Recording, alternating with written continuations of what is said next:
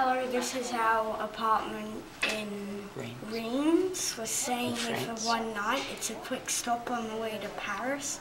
And also we saw our friend Cyrielle who was here. And our apartment, if you go through here, there's, well, I'm not really sure what it is, but it's really just like a table and a small bathroom, and there is a bigger one.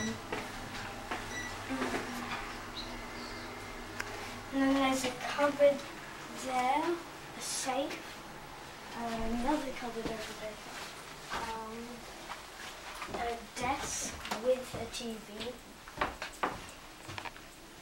And What about the it's not very exciting, but kind of good at thingamajig. I'm not really sure what to call it, but really it just looks like a box.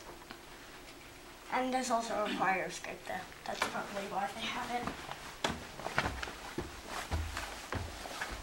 Up the stairs, there's another TV and a coffee table, a cupboard, and a bigger bathroom.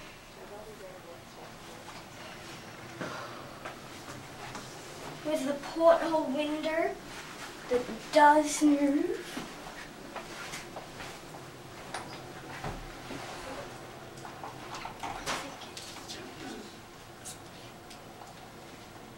Does it?